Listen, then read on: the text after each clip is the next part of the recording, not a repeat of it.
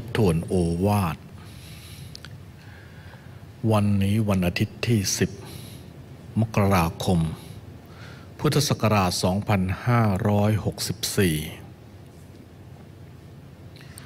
อนุสรสถานของพระเดชพระคุณหลวงปู่ พระผู้ปราบมาร มีความสำคัญทุกจุด ตั้งแต่ที่เกิดด้วยกายมนุษย์หยาบ โลตัสแลนด์ อำเภอสองพี่น้องจังหวัดสุพรรณบุรี จนถึงสถานที่ท่านตั้งมโนปณิธาน ที่จะบวชณคลองบางนางแท่นและได้มาทำตามมโนปณิธาน คือบวชที่วัดสองพี่น้อง เมื่อบวชแล้วก็บำเพ็ญสมณธรรม จนกระทั่งถึงจุดที่ไม่ได้ตายเถอะ ที่วัดโบสถ์บน เมื่อบรรลุธรรมก็เผยแผ่วิชาธรรมกาย มีพยานในการตรัสรู้ธรรม ที่วัดบางปลา และไปปักหลักค้นวิชาธรรมกายที่วัดปักน้ำจนกระทั่งถึงจุดสู้รบกับพยามารจนถึงวาระสุดท้ายของท่าน แล้วก็ส่งต่อการเผยแผ่มาที่วัดพระธรรมกาย ทุกจุด เป็นขั้นเป็นตอน ดังนั้นให้ไปบอกต่อๆกัน เพราะแต่ละจุดของพระผู้ปราบมารเป็นทางมาแห่งบุญบารมีของเรา ท่านเป็นบุคคลที่ควรบูชาอย่างยิ่งหนึ่งปีมีเพียงครั้งเดียว ถ้าไม่ปลื้มก็ขาดทุน บารมีก็จะเกิดขึ้นกับเรา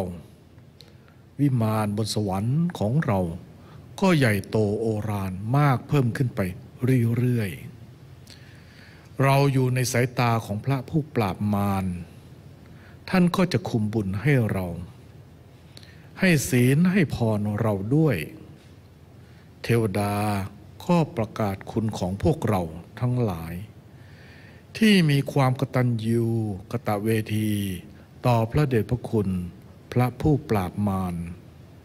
แล้วก็ฉลาดในการหาบุญบารมี เพราะ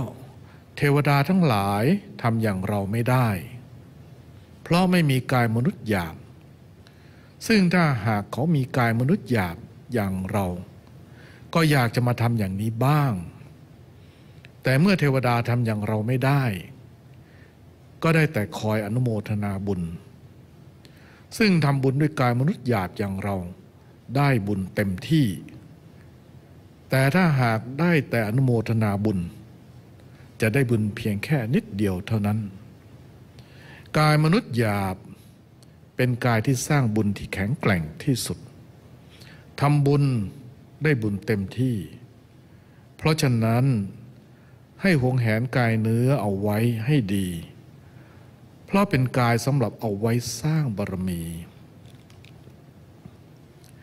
เพราะสร้างบุญทีสร้างได้เยอะ ถ้าหากเป็นกายละเอียด เป็นกายที่เหมาะไม่เหมาะแก่การสร้างบารมี ได้แต่อนโมทนาบุญ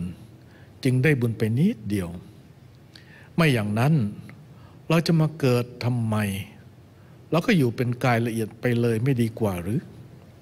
แต่เพราะกายหยาบมีความสำคัญ มากในการสร้างบารมี ดังนั้นให้มาเอาบุญใหญ่ธรรมญาตราบูชาธรรมพระผู้ปราบมันกันให้เยอะๆนะ ขอเชิญทุกท่านร่วมกิจกรรม กิจวัตรธรรมญาตราบูชาธรรม มหาปูชิยาจารย์ปีที่ 9 โดยผ่านซูมที่บ้านของท่าน ทั้งใน